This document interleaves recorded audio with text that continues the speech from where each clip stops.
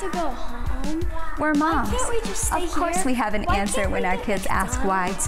Why For the thousandth time. just go to the Today. We're moms. Of course we can never finish a conversation. We're busy chasing our kids across the atrium. We're Christian moms. Of course, we'll single handedly keep Hobby Lobby and Chick fil A in business. Of course, caffeine is an essential part of our daily diet. Hold a second, baby. Of course we're gonna forget to text you back. We're moms. Of course, we're gonna get upset if you yell at our kids, because we don't even do that.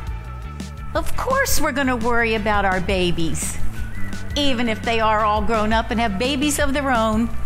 Of course, we're gonna say we don't need help cleaning, and then get mad that nobody helps us clean.